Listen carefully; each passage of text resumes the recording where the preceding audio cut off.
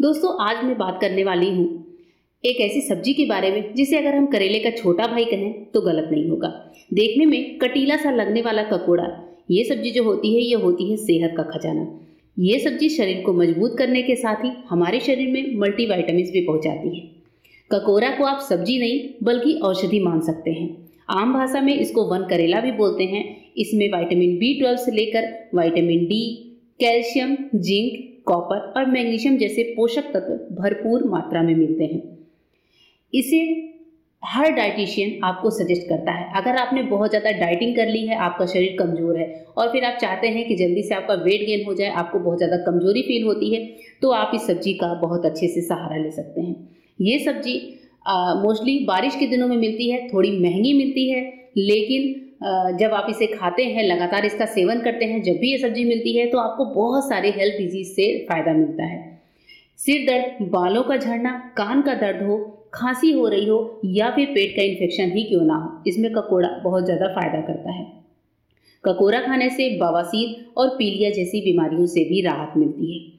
अगर आपको डायबिटीज़ है तो भी ककोरे की सब्ज़ी आप डेली बनवा कर खा सकते हैं। इससे आपका ब्लड शुगर लेवल कंट्रोल रहता है। आपको बहुत ज़्यादा कमज़ोरी का एहसास हो रहा है तो सबसे पहले हम अपनी डाइट में शामिल करते हैं फल और सब्जियों को। तो ऐसी ही सब्जियों में शामिल है ककोड़ा, या फिर इसे कंटोला भी बोलते हैं। इस सब्ज़ी में बहुत तरह के न्यूट्रिएंट्स होते हैं। ये हमारे पेट से लेकर हार्ट यहाँ तक कि मोटापा को दूर करने में भी सहायक होता है। इसे बहुत सारे नामों से जान, जानते हैं। अलग अलग शहरों में अलग अलग नामों से मिलता है।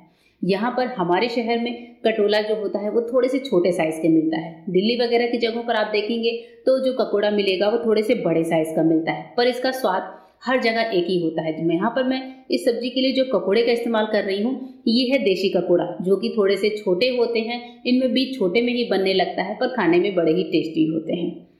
Protein fat fibre carbohydrate potassium sodium calcium जैसे बहुत सारे न्यूट्रिशन इस सब्ज़ी में मौजूद होते हैं। इसी वजह से इसे खाने से हमारे शरीर को बहुत सारे लाभ मिलते हैं और इस सब्ज़ी को बनाने के बहुत सारे अलग अलग तरीके होते हैं। कुछ लोग इसे प्याज लहसुन के साथ बनाते हैं, कुछ मसालों के साथ बनाते हैं, कुछ सिंपल तरीके से बनाते हैं। जैसे हमारे घर में भी ककोड़ा कई तरीके से बनता है, पर आज जो मैं तरीका शेयर कर रही हूँ, वो एकदम सिंपल है, साथ ही लेकिन जब ककोड़ा बनकर तैयार होता है तो बहुत टेस्टी भी लगता है।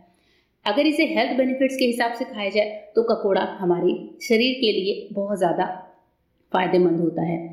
इसकी सब्ज़ी खाने से अगर आपको सिर दर्द हो रहा है तो उससे काफ़ी ज़्यादा रिलीफ मिलता है।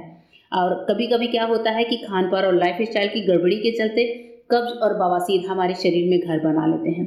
तो ककोड़ा का सेवन करने से हमें कब्ज और बवासीर से भी छुटकारा मिल जाता है। अगर आप डायबिटीज़ के पेशेंट हैं तो इसे अपनी डेली डाइट में शामिल करें। पूरे सीज़न, जितने भी दिन ये सब्ज़ी आती है, आप इसको अपनी डाइट में शामिल करिए। इस सब्ज़ी को खाने से अगर आपको दांत और खुजली की समस्या भी है तो उससे भी रिलीफ मिलेगा। अगर आपको फीवर आ रहा है तो उसमें भी ये सब्ज़ी फ़ायदेमंद होती है। इस सब्ज़ी के सेवन से ब्लड प्रेशर और कैंसर जैसी खतरनाक बीमारियाँ भी दूर होती हैं। तो दोस्तों, देखा आपने इस सब्ज़ी के कितने सारे हेल्थ बेनिफिट्स हैं। चलिए शुरू कर लेते हैं सब्ज़ी की रेसिपी जैसा कि आपने देखा, मैंने ककोड़े को धुले हुए थे। एक जो हल्की सी डंडी थी, उसको काट कर अलग किया, ककोड़े को चार छोटे छोटे पार्ट में डिवाइड कर लिया। ककोड़े को काटने से पहले ही अच्छे से वॉश कर लीजिए। इसके साथ ही मैंने प्याज लिए हैं। प्याज को मैंने ऐसे ही नॉर्मल फाइन चॉप कर लिया है। तेल गरम किया है, तेल में डाला है जीरे और सौफ का तड़का। सौफ के तड़के से जो ककोड़े की सब्ज़ी होती है, वो बहुत ही टेस्टी बनती है। प्याज को आप हाई फ्लेम पर फ्राई कर लीजिए। प्याज के साथ बनने वाली ये सब्ज़ी बहुत ही टेस्टी लगती है और सबसे बड़ी बात इसे आप एकदम हल्के मसालों के साथ बना सकते हैं। प्याज जब भून जाए, तब हमने डाले हैं अपने कटे हुए ककोड़े। ककोड़े को अब हम क्या करेंगे? प्याज के साथ अच्छे से मिलाने के बाद फ्लेम को मीडियम करेंगे और मीडियम फ्लेम पर एक बार ककोड़े को अच्छे से फ्राई कर लेते हैं। सब्ज़ी बनाने के दोस्तों सबके अलग अलग तरीके होते हैं। आप इसे मसालों के साथ भी बना सकते हैं, लेकिन अगर आप इसे हेल्थ के हिसाब से खा रहे हैं, आप चाहते हैं कि आपकी हेल्थ को इससे बेनिफिट्स मिले तो कोशिश करिए कि इसे आप एकदम सिंपल तरीके से बिना मसालों के साथ बनाइए। तो यहाँ पर देखिए ककोड़े हमारे फ्राई हो गए हैं। इसे मैंने दो से तीन मिनट फ्राई किया है प्याज के साथ। ऐसे तो ककोड़े का कलर चेंज नहीं होता है, बस इसे हल्का सा फ्राई कर लीजिए जिसे थोड़ा सा ड्राई हो जाए। ककोड़े हमारे फ्राई हो रहे हैं तो तीन से चार मिनट हम इसको फ्राई करेंगे प्याज के साथ। अब इस टाइम पर हम क्या करेंगे कि ककोड़े में ही, साथ में ही हम डाल देंगे थोड़ा सा नमक। टेस्ट के अकॉर्डिंग जितना भी नमक आप चाहिए, आप यहाँ पर डाल सकते हैं।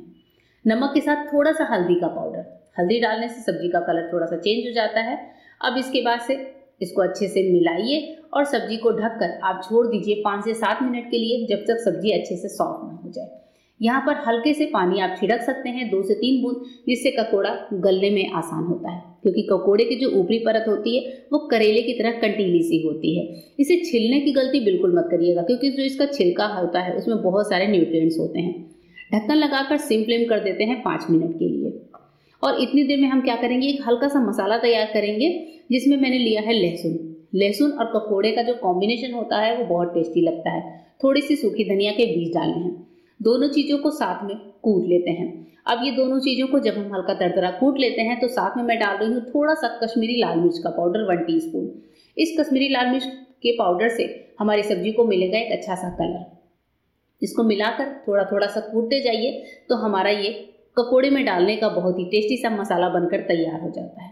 बाकी हम यहाँ पर और बहुत ज़्यादा कोई मसाले यूज़ नहीं करने वाले हैं। कश्मीरी लाल मिर्च मैंने डाला है सिर्फ़ कलर के लिए। थोड़ा सा लाल मिर्च का पाउडर आप अपने टेस्ट के अकॉर्डिंग डाल सकते हैं। वैसे मैं ककोड़े की सब्ज़ी में पर्सनली तीखी मिर्च को अवॉइड ही करती हूँ। तो यहाँ पर हम क्या करेंगे, जो मसाला हमने रेडी किया है, साबुत लाल मिर्च और लहसुन के साथ, वो यहाँ पर ऐड करेंगे। और इसी इमाम दस्ते को थोड़ा सा वॉश करके जो पानी है, वो भी मैं यहाँ पर डाल देती हूँ। इस मसाले को मिला दीजिए। मसाले को मिलाते ही आपकी सब्ज़ी से एकदम अलग सा कुछ फ्लेवर उठता है, जिससे जो है सब्ज़ी का टेस्ट बहुत अच्छा होता है। हमारे यहाँ राजस्थान में सब्ज़ी का कलर देख कर ही लोग सब्ज़ी को खाते हैं तो मैं कश्मीरी लाल मिर्च थोड़ा सा प्रेफर करती हूँ। अगर आप चाहें तो इसे स्किप भी कर सकते हैं। इसकी जगह पर आप हरी मिर्च या फिर नॉर्मल मिर्च का यूज़ कर सकते हैं। मसाले को अच्छे से मिलाएँगे और चूँकि हमने डाला है थोड़ा सा पानी और ककोड़े को गलने में अभी थोड़ा सा टाइम है तो हम वापस से एक बार लगा देंगे ढक्कन। ढक्कन लगाकर मैं वापस से इसको तीन से चार मिनट और पकाऊँगी। तीन से चार मिनट बाद सब्ज़ी को खोलकर चेक करते हैं। सब्ज़ी हमारी अब इस टाइम पर थोड़ी सी सॉफ्ट हो गई है। देखिए, मैं ककोड़े को इस तरीके से चेक कर रही हूँ तो ककोड़ा आसानी से इससे टूट रहा है। अब यहाँ पर मैंने डाला है अनारदाने का पाउडर अगर आपके पास अनारदाने का पाउडर नहीं है तो आप अमचूर का पाउडर कच्ची केरी या फिर खटास के लिए कोई भी चीज़ आप डाल सकते हैं जो आपकी टेस्ट का हो। इसको डालने के बाद हम वापस से एक मिनट के लिए ककोड़े को सिम फ्लेम पर पकाएँगे, जिससे जितने मसाले हैं वो अमचूर के साथ, अनारदाने के साथ अच्छे से एब्जॉर्ब हो जाए। एक मिनट के बाद ही ढक्कन हटाते हैं। सब्ज़ी का कलर थोड़ा सा चेंज होता है अनारदाने की वजह से। अब हमारी सब्ज़ी बनकर तैयार है। आप चाहें तो थोड़ा सा खुले पे एक दो मिनट इसको और फ्राई कर सकते हैं बट सब्ज़ी हमारी बहुत ही टेस्टी लजीज सी बनकर तैयार है, एकदम कम तेल मसालों के साथ। और ये सब्ज़ी पराठों के साथ बहुत अच्छी लगती है। आपके घर में इन बीमारियों से रिलेटेड कोई भी पेशेंट हो शुगर ब्लड प्रेशर डायबिटीज़ या फिर बवासीर से संबंधित समस्या हो किसी को किसी को मोटापे से संबंधित समस्या हो तो उनको ये सब्ज़ी खाना, खाने को दीजिए। होप करती हूँ दोस्तों कि आज की रेसिपी आपको पसंद आई होगी, साथ ही इसके हेल्थ बेनिफिट्स भी पसंद आए होंगे। फिर मिलेंगे मेरे नए वीडियो में, तब तक के लिए गुड बाय थैंक यू